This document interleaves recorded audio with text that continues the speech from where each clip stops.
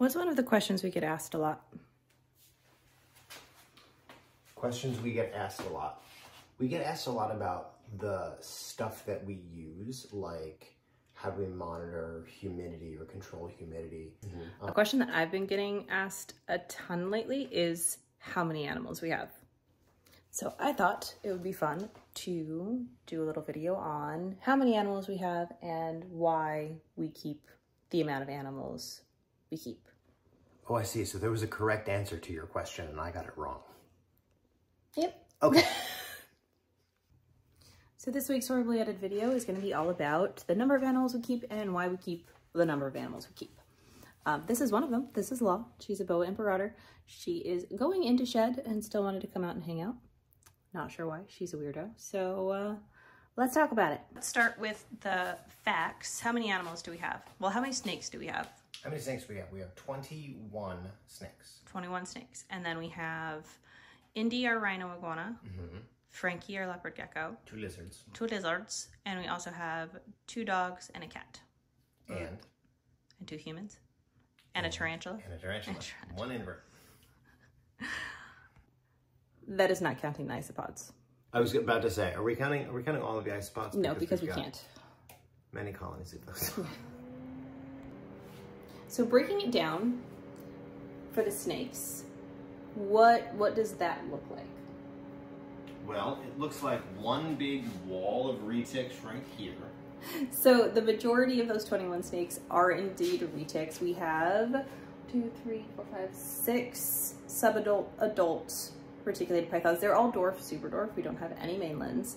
And then 10 of those retics are Babies. babies from when we paired Stella and Aries last season. So the babies are around six months old. They were born May 11th. Um, so yeah, they'll, they'll be just almost exactly six months old by the time this video drops. And then, oh, so retic, retic, retic, retic, retic, retic. This is the wall of retic. Um, we also have the nursery. So this is where the babies reside. They just ate last night. So they're either out basking or curled up nice and cozy. So those are the babies. And then we also have in this room our scrub python cogs. Hi, buddy. And then what else we got? Well, also in this room we have Indy down there. Well, we have Indy in here. We're talking about the snakes. Oh, still on snakes. Still on snakes. And then we have three species of boa. Mm-hmm. So we have a boa. We have two BIs, boa imperators. This one, this is our female uh, law. She's a subadult. Uh, she is a IMG labyrinth het VPI T-pause snow. And then we have Tweet, who is our blue-eyed dragon boy. He's a VPI T-pause snow. And then we have our Colombian rainbow boa, Ivy. She lives in here. She's about to get an upgrade soon, which I'm very excited about. Yes, Ivy. She likes to hide that. Oh, hello, your face is right there. Hi, sweet girl.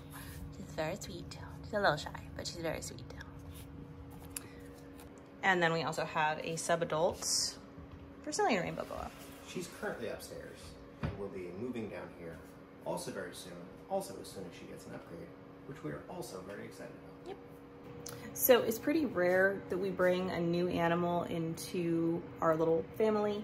Um, we really, we keep larger constrictors, right? We keep retics, like again, so dwarf, super dwarf, so they are comparatively smaller than mainlands, but they still get decently sized and they are very active, interactive snakes. So they, we do like to offer them as much space as possible. And in order to do that well, we have to map out kind of ahead of time adult enclosures. So that really limits us in terms of any new animals we're bringing in or pairings that we're doing and things of that nature. So in terms of upgrades, um, this is Law's house right now, which is definitely getting too small for her. Ivy lives in a 4 by 2 by 2 and then Twee lives in a 6 by 2 by 2 And then our subadult retics, Centauri's on the top, Chahai is in the middle, Shy is on the bottom. Um, they're all in 4 by 2 by 2s So the plan, Plan is starting with the boa wall.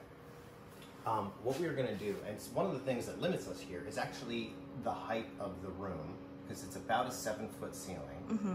Um, so what we figured out is exactly kind of the height that we could um, get custom tanks made, where we can stack them and really maximize the climbing space that the animals have. Yeah. I So, think what we decided on was what three and a half feet. 40 inches. 40 so inches, yeah. yeah, yeah. Yep. So three and a half feet. So something that's really helpful is watching the animal's behavior. So Twee, Ivy, Law, all three of them really enjoy climbing. So we are going to give them a lot more height. So it's still the upgrades. The, these are all Toad Ranch upgrades, Okay. and they're still we did six feet, right?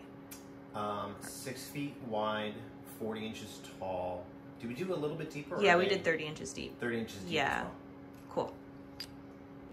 So one of the things that's really good to keep in mind when you are getting into snakes and looking at adding snakes, especially prior to your snakes being full grown, it's really thinking ahead on the layout of the space that you currently have. Um, when we moved to this place, we moved from a row home, which was much smaller, and we had Ivy, Twee, Aries, and Shy at that point. Um, and I was unwilling to get any more animals until we actually had moved into a space that would allow for expansion for any other animals that we would bring into the house. So the plan is to, we'll be moving my desk. Um, I'm gonna get a new desk and put it by the window over there. We'll move the plant wall somewhere else, or the plant shelf somewhere else.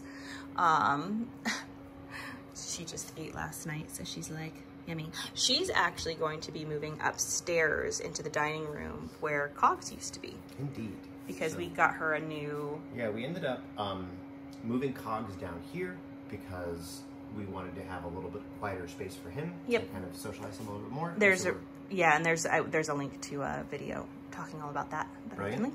Yep.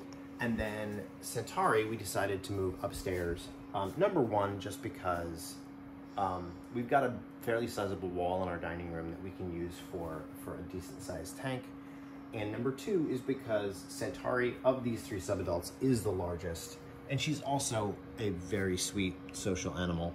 Um, and so we thought she would be a good fit for living upstairs, right? Like the the idea there being there's two dogs and a cat that run around upstairs. We've got robovacs that run occasionally. Yeah, People the- walking through. The busyness won't Yeah. stress her out like it did Cogs. Right. Um, Carry on. oh, sorry.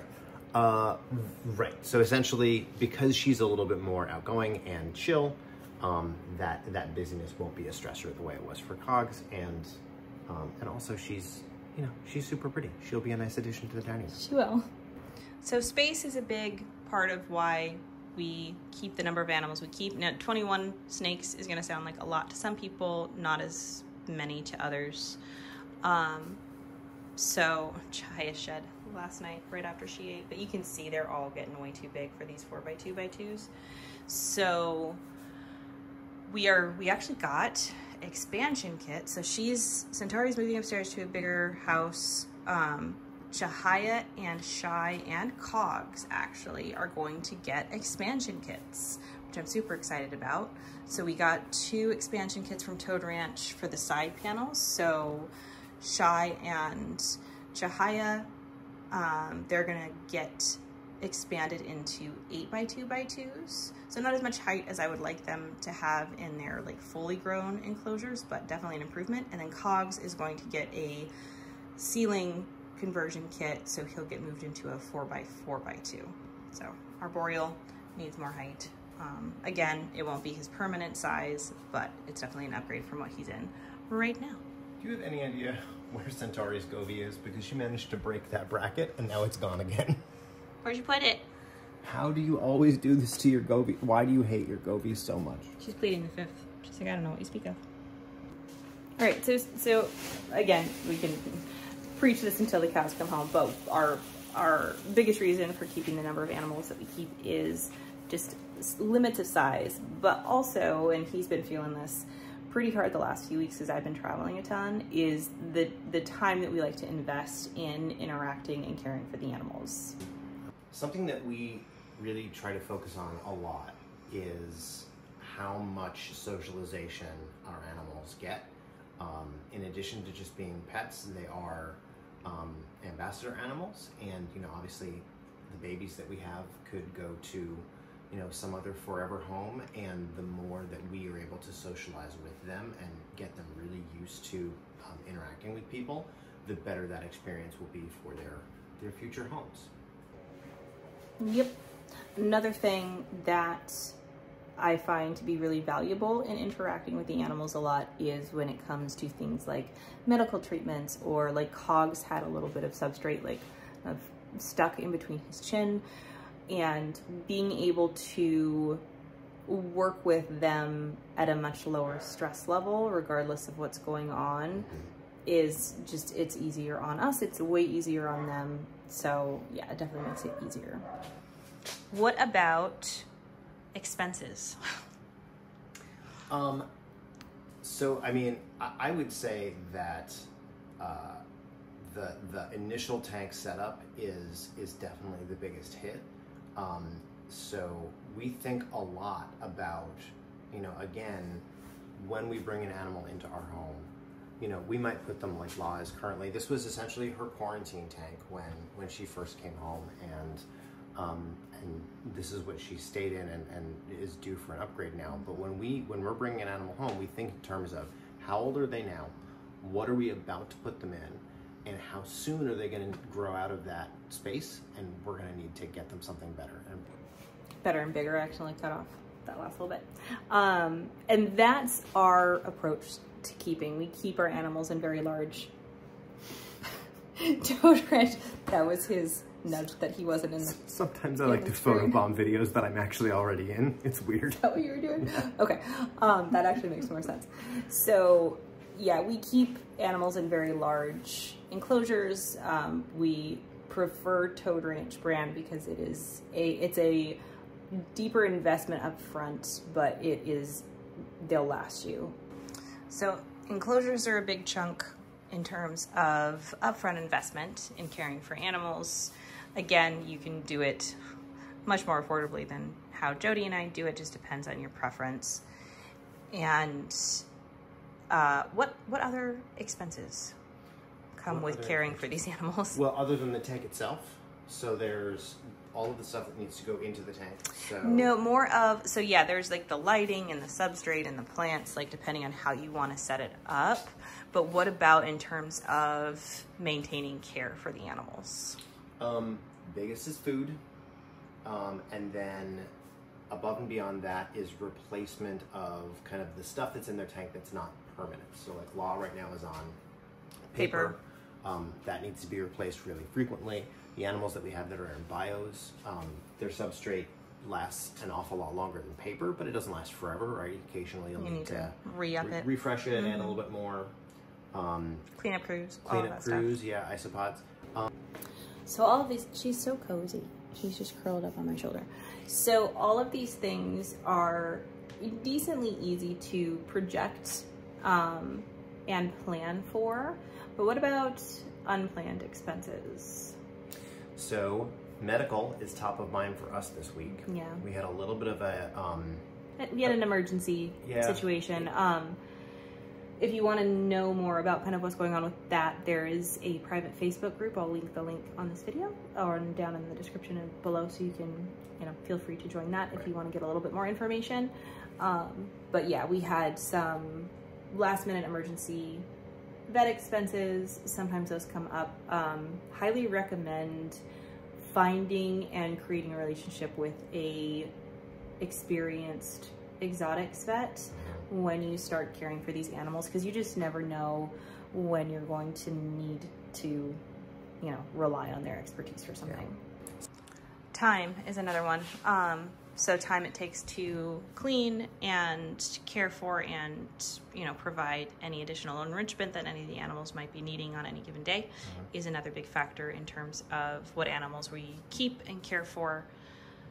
And yeah, I think I think those are the big three, right? Time, space, and money. Mm-hmm. Um, you know, if you run out of any of those things, it's going to mean a less, you know, good life and experience for your animal, um, and potentially more stress for you. Um, so, kind of thinking through: Do I have the time, space, and money to add to my animal family? Is is always a really really good exercise to go through. Just think through it all. Mm-hmm. Yep. Yeah, and again, that's going to be very dependent on species, you know, how big they get, how interactive they are, all of that stuff. There are definitely more kind of lower maintenance snakes than the animals that we care for. However, I don't believe there's really such a thing as a true low maintenance animal. Regardless of what animals you keep and care for, they are going to need care to ensure that they are healthy and thriving. Right, and even All right, and I think that's it in terms of the the majority of the reasons behind the reasons we keep the number of animals we keep and care for. Um, yeah, if you want to, my fingers on that. If you want to have like a tour of each individual animal in our care, let us know if that's something you want to see, and we can definitely work on putting that together. That will take a little bit more time because we need to align like feeding schedules and shedding schedules and all of that stuff. So, but yeah, if that is something you want to see, kind of every single animal that we care for in one video, comment below, let us know, and otherwise we will catch you On the flip side. next week, also known as the flip side. She finally decided it was time to go back in. Kind of. I'll be here for a while. Your butt's in the way. I can't close your door. She knows. I did all of this filming before having coffee. I haven't had any yet. Go us. Grabbing the day by the horns. We're either impressive or really stupid.